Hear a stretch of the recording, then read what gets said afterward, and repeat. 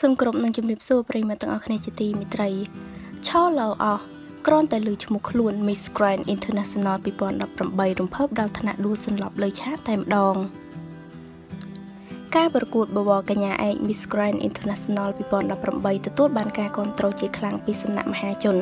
ដោយសារមានការចូលរួមប្រកួតពីបវរកញ្ញាប្រទេសនានាជុំវិញពិភពលោក។ ប៉ុន្តែនារីត្រីបំពាក់មកុដបានប្រព្រឹត្តឡើងនៅប្រទេសមីយ៉ាន់ម៉ាកាលពីថ្ងៃទី25តុលាម្សិលមិញនេះស្រាប់តែមានហេតុការណ៍មួយគួរឲ្យភ្ញាក់ផ្អើលដោយសារតែបេក្ខនារីមួយបានដួលសន្លប់នៅលើឆាកតែម្ដងជាក់ស្ដែងបេក្ខនារីរូបនេះត្រូវបានគេស្គាល់ថាមានឈ្មោះថា Clara Sosa ជា Miss Grand មកពីប្រទេសប៉ារ៉ាហ្គាយ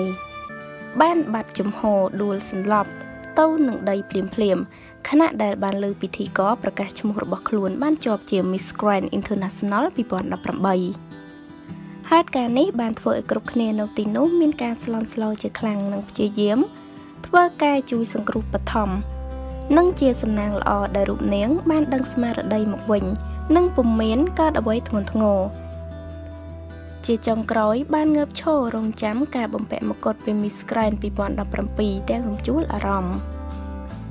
ចាដោយសារតែកញ្ញារំភើបខ្លាំងពេកចា ដល់ថ្នាក់ដួលសន្លប់បែបនេះ គឺជាធម្មតានោះទេនៅពេលដែល យើងទទួលបាននូវអ្វីដែល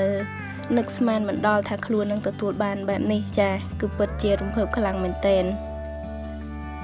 ចាតម្រាំតែបានមកុដនេះពិតជាមិនងាយស្រួលនោះទេ គឺត្រូវឆ្លងកាត់ជាច្រើនវគ្គមែនទែន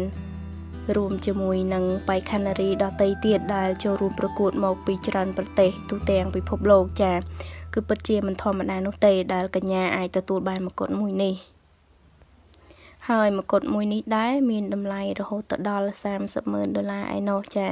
គឺពិតជាថ្លៃមែនទែន ចាហើយពិតជាសោកស្ដាយមែនទែនដែលកម្ពុជារបស់យើងមិនបានទទួលបានជ័យលាភីចា